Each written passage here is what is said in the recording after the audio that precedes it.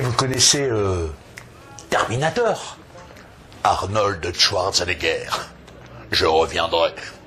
Bon, vous savez que Arnold est très engagé pour la lutte euh, de la protection de l'environnement. hein. Ah bah ouais, hein, écolo à fond.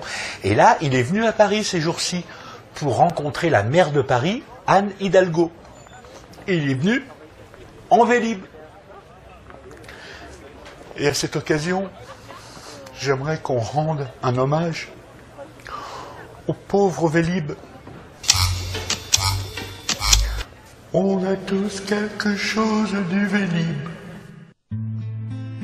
Oh Vélib, si tu savais tout le mal que l'on te fait,